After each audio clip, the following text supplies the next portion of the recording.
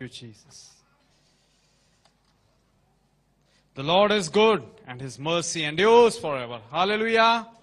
His mercy endures forever. One thing is everlasting and his mercy is everlasting. I would like to thank all of you for remembering my mother and uh, uh, she has reached India safely and she was very happy and sent uh, love and greetings to you all. Although she didn't come for preaching to Kuwait, but uh, she just came to mm, uh, visit me and minister to me.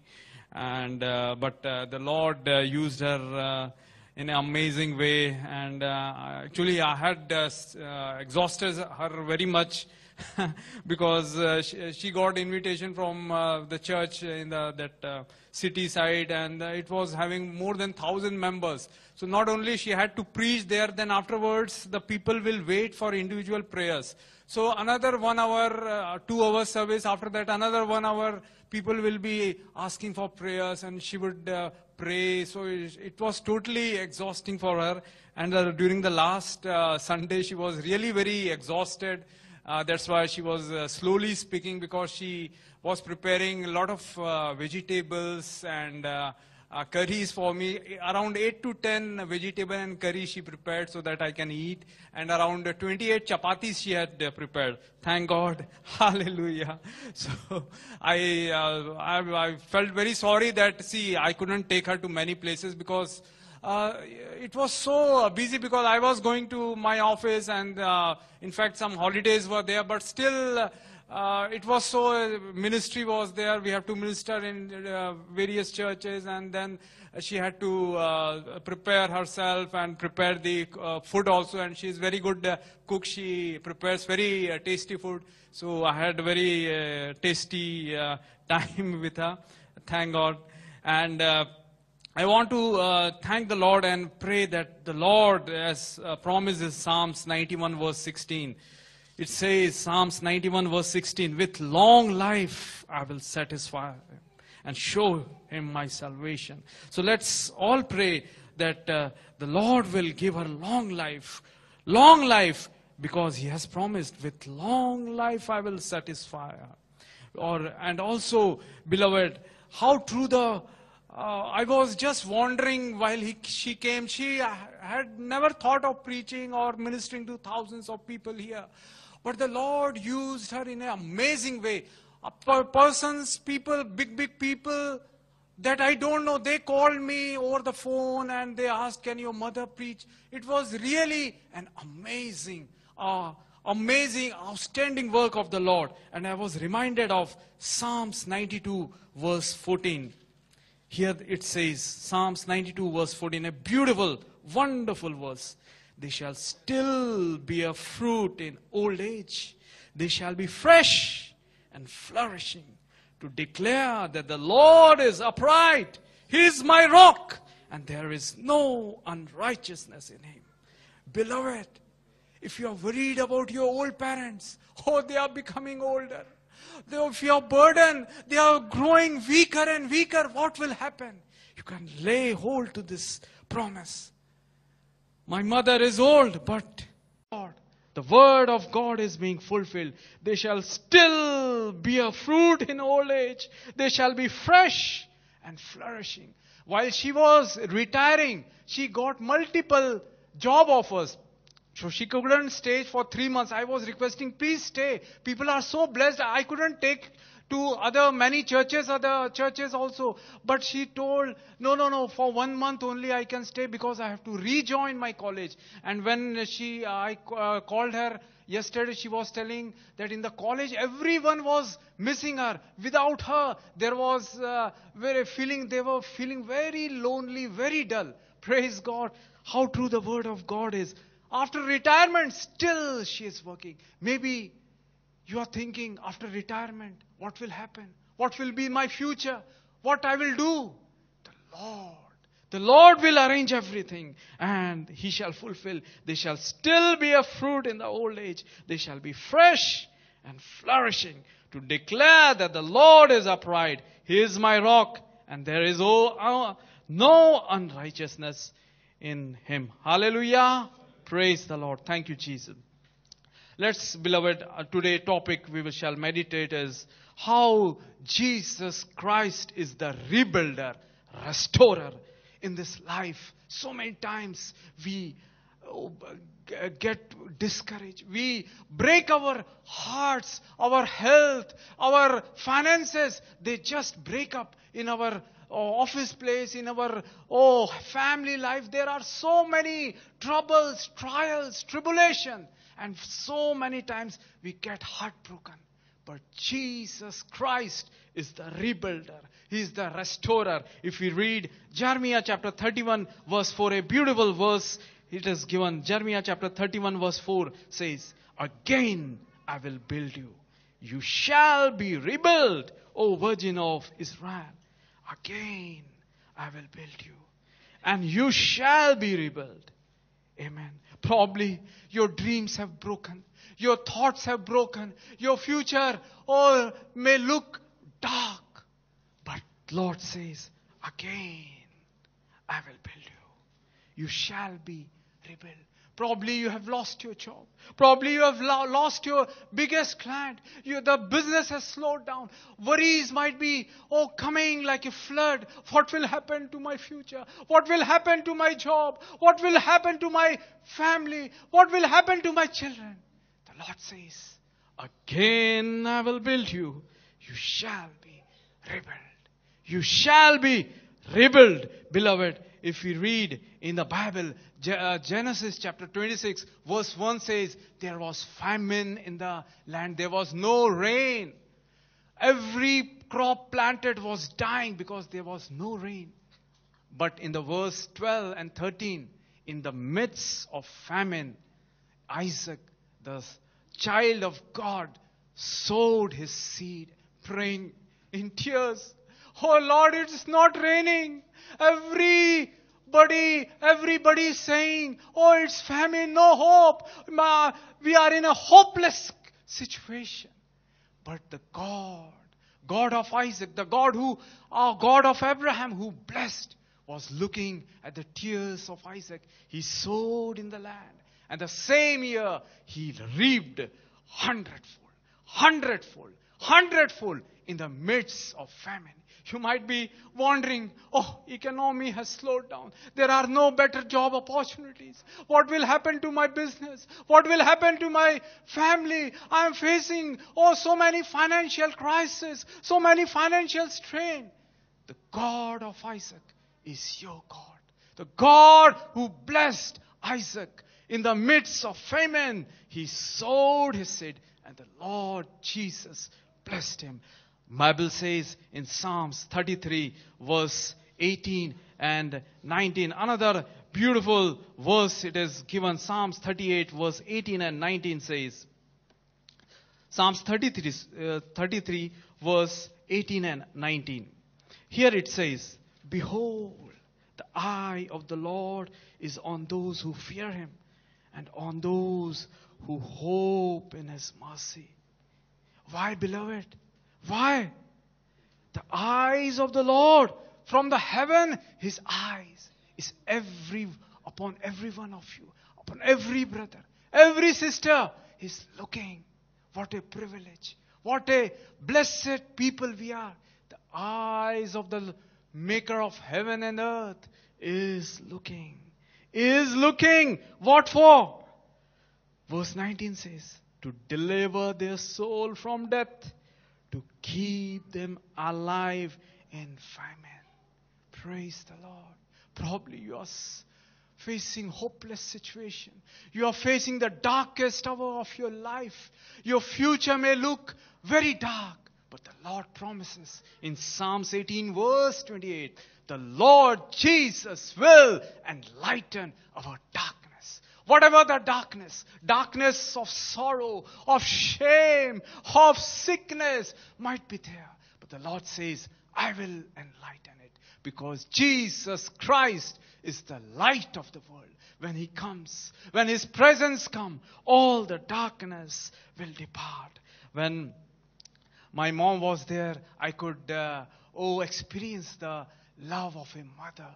And I remembered when I was small child, when I was in India growing, and whenever I used to become sick, when I used to suffer with jaundice, typhoid, or sometimes fever, or stomach problem, and there would be nights where it would be very hard for me to sleep. She will sleep beside me. And uh, she will be giving me medicine after taking me to the doctor. And after that, I will be sleeping. But still, s- because of high fever, high pain, I will get up in the night. And suppose 1 o'clock, 2 o'clock, I am getting up. She will immediately touch me. And I used to wonder, whenever I wake up, she touches me and says, How are you? How are you feeling? Anything you want? You want water? Oh, I realized that she's not sleeping. She's always looking at me, at her son, sleeping at her. She's not sleeping. But whenever I'm sleeping, oh, but she's waking. She is praying, Lord, oh, take away the disease, take away the fever, take away the jaundice, take away the typhoid from my son, and give to me and heal him. Heal him. That's the love of a mother. That's the love of a mother. Bible says our Lord loves more than a mother. Isaiah chapter 49 verse 15 and 16 says, Can a mother forget her sucking child? Yes, she may forget, but I will never forget you. I will never forget you. The Lord, your Savior Jesus, is oh never sleeping. Psalms 121 verse 4 says, the Lord never sleeps. The Lord never slumbers. My mother never used to sleep when I am sick. Whenever I used to wake up, she will be there. She will touch me, ask me, son, how are you? How you are feeling? Do you want water? That was the, that is the love of a earthly mother. But the look at the love, the greatest love of Jesus. He died for every brother, every sister. He shed his last drop of blood for every one of you. For every one of you, he shed his blood. He has purchased you with his own with his own blood. Never think you are alone. When you are in sorrow, when you are in pain, when you are in affliction, when you are depressed, when worries surround you, what will happen to my family? What will happen to my health? Our doctor have told I have diabetes. Doctor have told I have last stage cancer. Doctor have told your kidneys have failed. Jesus understands. Jesus feels the pain. Another beautiful verse that is found in Isaiah chapter 63 verse 9 says, Isaiah chapter 63 verse 9 says, how Jesus Christ feels the pain. It says, Isaiah chapter 63 verse 9 says, in all their affliction, he was afflicted. In all their affliction, he was afflicted. And the angel of his presence saved them. In his love, in his pity, he redeemed them and he bore them and carried them. My beloved, when you are suffering, when you are afflicted, Jesus is afflicted also. Jesus suffers the pain. When you cry, Lord, I'm not able to sleep in the night. This kind of worry, this kind of tension is coming. I'm having my back pinning, my head is pinning, oh, in my stomach, tumor has developed, my kidneys have failed. What will happen? Doctor have given up the hope. What will happen to my mother, to my father who is sick, oh, my brother, my relative who is suffering in the hospital with an incurable disease? Jesus understands. Jesus feels the pain. When you cry, Father, it's paining. It's paining. In the night, 12 o'clock, 2 o'clock, if you cry, the Lord says, He never sleeps. He never slumbers. Psalms 121 verse 4, He never sleeps. He never slumbers. Another verse, beautiful verse that is found in Ephesians. Oh, Ephesians chapter 5 verse 30 says how Jesus loves us, how Jesus cares for us. Ephesians chapter 5 verse 30 says,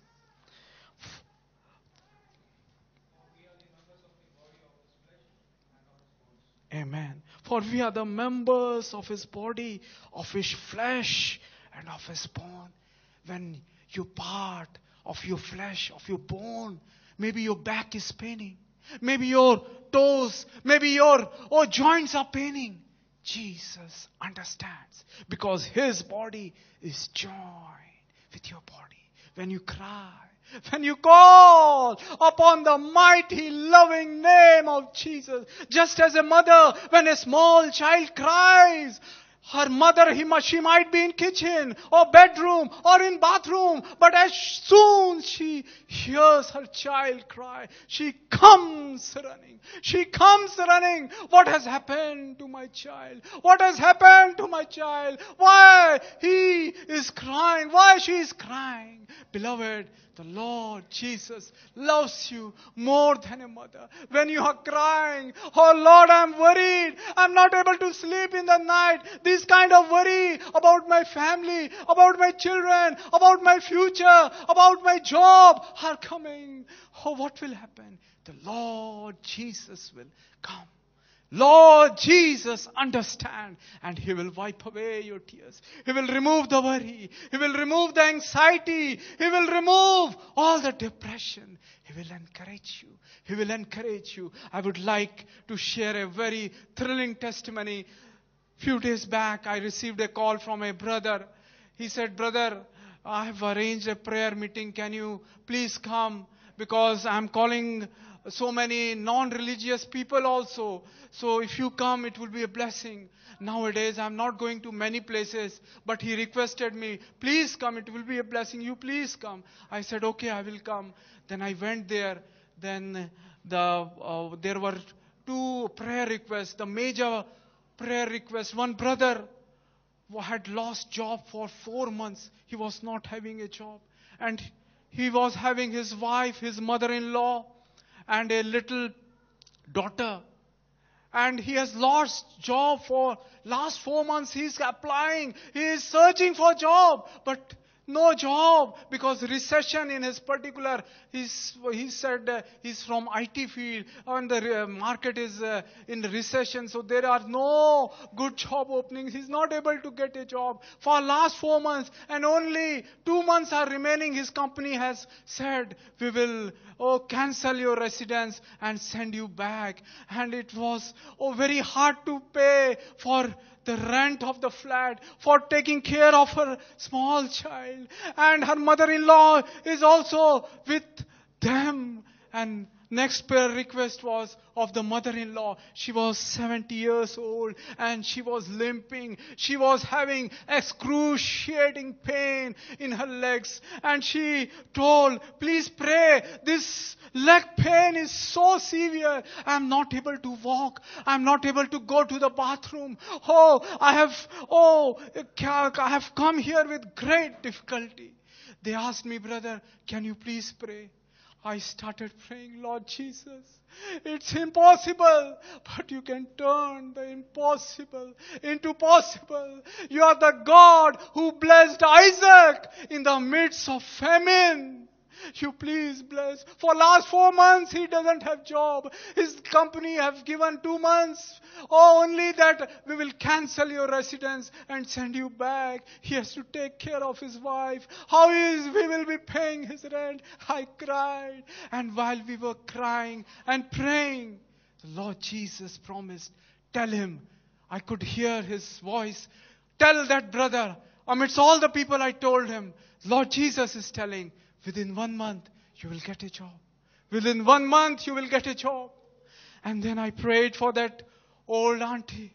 Lord Jesus, when you were this in this world, when the leper cried to you, Lord have mercy, you touched the untouchable leper, the one whose flesh was torn apart, was coming apart. He was looking so miserable. You can build, you can heal, you can heal. And I prayed, Lord Jesus, lay your wounded hands, nail pierced, bleeding hands, Lord, healing hands right now and heal, heal in the name of Jesus. Like that we prayed and the meeting was over. Then uh, uh, after uh, six days, I got a call from that brother. Brother, please come. There is a Thanksgiving meeting. I didn't ask what is the Thanksgiving meeting. In their house, the one who had come who didn't have a job. So when I went there to their house, they uh, then uh, first thing uh, that brother testified, brother. After only one around uh, uh, three four days, I got an interview call, and they said you can join within one month, and they have given me the appointment letter. Praise the Lord. Praise the Lord. Jesus hears the prayer of the afflicted. Whenever you are in affliction, Psalms 22 verse 24 says, Psalms 22 verse 24 says, For he has not despised, nor abhorred the affliction of the afflicted, nor has he hidden his face from him. But when he cried to him, he heard. Beloved, Lord Jesus will hear. Probably the people of your, the world, your relatives, your friends might forsake you when you are in trouble, when you are sick. They, they won't even bother to call you. Ask you, how are you? They will turn their faces. But Jesus Christ is the faithful God. He is the promise keeping God. He looks at the afflicted to remove their affliction. Praise God. That brother is still in Kuwait. Hallelujah. He got the job. Hallelujah. What Jesus Christ says, He fulfills it. Hallelujah. Not of my ability. It is the love compassion of Jesus that wants to comfort the brokenhearted because Jesus Christ came to heal every broken heart. Every broken heart. Psalms 147 verse 3 says, Jesus Christ came to heal every broken heart. Psalm, Isaiah chapter 61 verse 2 says, He came to comfort all who are mourning, all who are weeping, to wipe away their tears. Isaiah chapter 61, 61 verse 4 says, The Lord will turn our mourning into dancing, into joy. Hallelujah. And He will bring out beauty out of the ashes. Beauty out of the ashes. Probably you are sitting with a burdened heart, with a sickness. Oh, my mother is sick. My father, oh, has become old. He is not able to walk. Remember, claim that promise. They shall bear fruit in their old age. They shall be fresh and flourishing. Oh, to declare that the Lord is my rock and His upright. There is no unrighteousness of me. And then that uh, old uh, auntie, she also testified. As soon as the meeting was over, she went back to her home and all the pain from her leg had disappeared. Praise the Lord. Praise the Lord. Hallelujah. Jesus is good.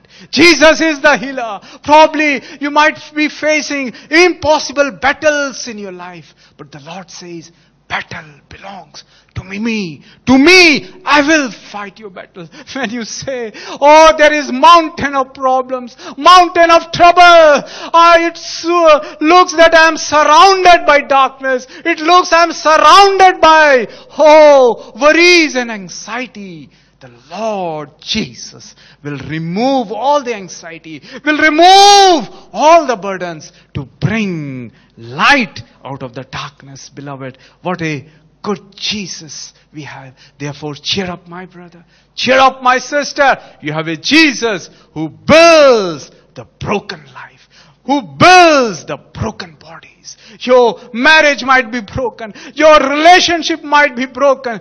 Jesus Christ will rebuild you, will rebuild you. Oh, He will restore you. Whatever you have lost. You might have lost your finances. Probably you have invested in some share that has gone down or in some property. The value has become, oh, lower and lower. You might be lamenting, Lord, I've lost uh, my finances. I have lost my wealth.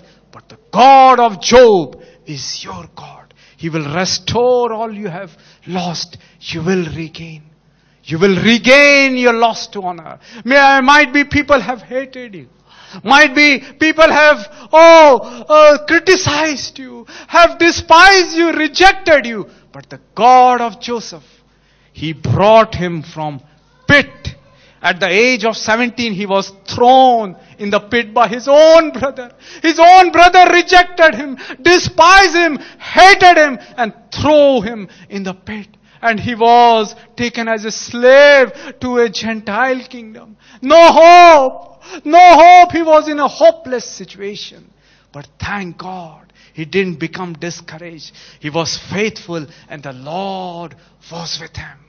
Genesis in the, if we read, uh, it says the Lord was with him and he blessed. He blessed out of, then at the age of uh, 30, the Lord took him from, he was falsely accused. He was falsely accused. He was innocent, but he was put in prison for uh, the, uh, 17 to 30, around 13 years, he was as a slave and 2 years in prison. Uh, so 11 years as a slave and 2 years in prison. He was lamenting. Beloved, you might be also having, oh, I'm having a hard job. For long six years I'm working in the same job with no increment, with no increase, with no bonus, with no good opportunity. Now, will I be able to get a release? Will I be able to get a better and, uh, oh, bigger job? The Lord says, even if you lose a job, don't worry, brother. Don't worry, sister. The Lord Jesus will give you a bigger, better job, exceedingly, abundantly, above all that you ask or think because Jesus Christ is powerful. Jesus Christ is powerful. He one who blessed Joseph at the age of 30, he was brought into palace. Oh, the Lord made him the ruler. Praise the Lord. God of Joseph is your God. God of Joseph is your God. Therefore don't be discouraged. Don't be, give up in life when adverse circumstances, when, oh, problems come like a mountain or like a ocean floods, they come running. Troubles, trials, sickness, tribulation. Don't give up. God of Joseph is your God. You will regain. He will lift you from your pit, from the prison. Oh, He will lift you to the palace. Cheer up, my brother. Cheer up, my sister, this night. We have a God of hope who loves you, who loves you, who loves you. Hallelujah. He loves you. Oh, thank you, Lord. Thank you, Lord. Oh, hallelujah. I would have shared many other things, but uh, time is up. I will uh, finish it. Uh, don't ever be, uh, become discouraged. Remember, God of Isaac is your God. God of Job is your God. He will restore all your losses. Oh, hallelujah. God of Joseph is your God. Whatever dark situation you might be, never lose hope. Jesus Christ will rebuild you. Rebuild you. First Chronicle chapter 4 verse 9 and 10 says, there was a man called Jabez. He was born in sorrow. Bible historian, scholar says, when he was born, his father died. So his mother was in pain and he bore him in pain. Verse 9 says, and she kept the name Jabez. The one who causes pain. The one who causes pain because she had lost her husband. She had become a widow. But did Jabez become discouraged? Oh, it didn't cry. It's my faith. It's my, I it, it's my fortune. What will happen? I'm cursed. My own mother hates me because I am the cause for her sorrow. She has lost her husband. She has become a widow at a young age. But no, beloved. He cried to the God of Israel, the one who can turn the defeat into victory failures into success. Hallelujah. Mourning into joy. Sickness into health. Misfortune, unfortune, curse into blessing because there is power in the blessings of God. He cried, Lord, bless me. Bless me indeed. Let your hand keep me. Let your hand protect me. Enlarge my territory. I may not cause pain. And verse 9 says, Jabez became more honorable than his brother. Probably his brothers might be more educated, more talented. But the Lord says, Oh, people call him the one who causes sorrow. I will make him at the same place to shine. He became more honorable. And if we read first uh, Chronicles chapter 3 verse 55, a city was named after Jabez. The Lord made him so honorable. Oh, he, oh, made the people to honor him and made the city name to be called Jabez. God of Jabez is your God. Isaiah chapter 61 verse 7 says, instead of your shame, you shall have double honor. Instead of your shame, wherever in your job, in your family, your relatives might have hated her. Oh, he's uh, reading Bible. He's praying all the time. He's going to the church. They might hate you. Even your oh, Christian friends, people friends might hate you. Oh, he's always preaching. He's always sharing his testimony. Oh, he's always uh, propagating. Oh, amidst all email, YouTube, everything, Facebook, he's doing all like preaching, preaching preaching, they might hate you. They might become jealous. But the Lord says, instead of your shame, you shall have double honor. The Lord will lift you. The Lord will cause you to be a source, a channel of blessing as He caused Jabez. Hallelujah. Remember, He loves you. He died for you on the cross. He has purchased you with His own blood. He loves you. He died as an orphan. There was nobody to comfort Him. Therefore, He understands your loneliness. When you cry in pain, when you cry in loneliness, He understands because on the cross, He was all alone. There was nobody to wipe away His tears. He was in excruciating pain. People had beaten Him mercilessly. His back was oh plowed like a field. His bones were visible. Psalms 22 verse 17 says, His bones were visible. His bones was visible. His flesh was torn, torn into pieces by those stripes, by the nine, oh that uh, each uh, stripe had nine cords and every 39 stripe, oh nine times, oh it will rip the back of Jesus. His flesh was torn into pieces for your healing. For your forgiveness of sin, beloved brother, beloved sister, shall we stand? Hallelujah. Oh, close your eyes and look to the crucified Jesus who bled for you. He died for you. He loves you. Hallelujah. Oh, His presence will come. His presence will come. His sweet, comforting presence will come. I will play this instrument as till I will play and the Lord Jesus' sweet presence will come. The one who wiped away the tear of the blind Bartimaeus. The one who blessed Jabez. The one who lifted Joseph. The one who blessed Isaac amidst the famine. He will wipe away your tears. He will remove every burden. Look to him on the cross. He loves you. He has shed all his blood. His blood is flowing for the forgiveness of your sin. For the healing of your body. Hallelujah. Everyone close Close your eyes. Hallelujah. Thank you, Jesus.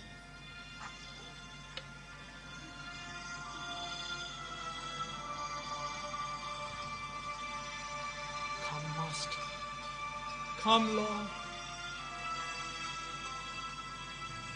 Jesus. Thank you.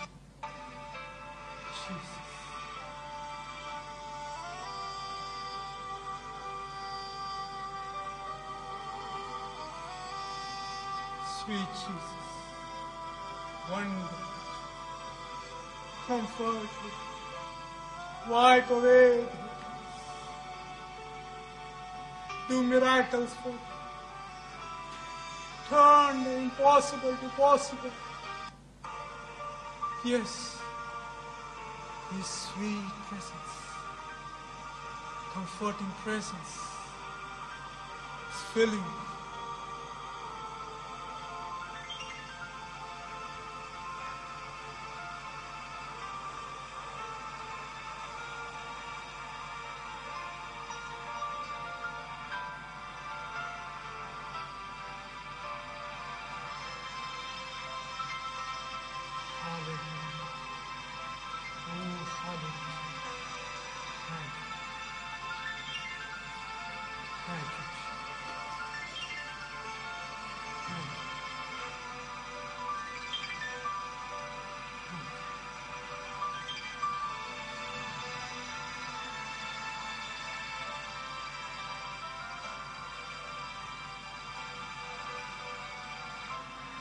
Jesus. Wonderful Jesus. Glorious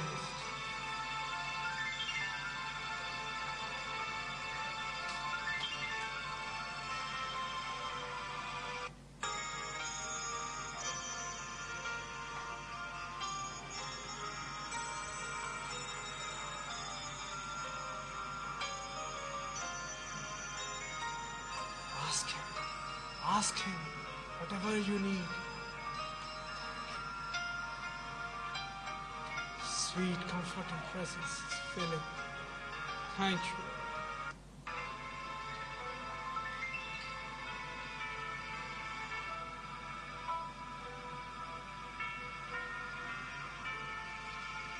Wonderful Jesus. Glorious Jesus. Thank you, Lord. Thank you.